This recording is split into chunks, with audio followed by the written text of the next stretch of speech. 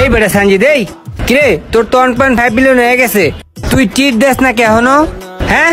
Treat ও গো মুরগি বানাইতে হইবো, বুঝছি।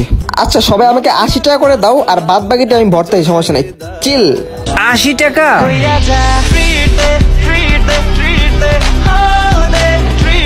আচ্ছা ঠিক আছে যা আমরা আশি টাকা করে দিব গুড ভেরি গুড তোমরা এত তাড়াতাড়ি মুরগি হবা বুঝেই নাই। ওকে চলো যাই।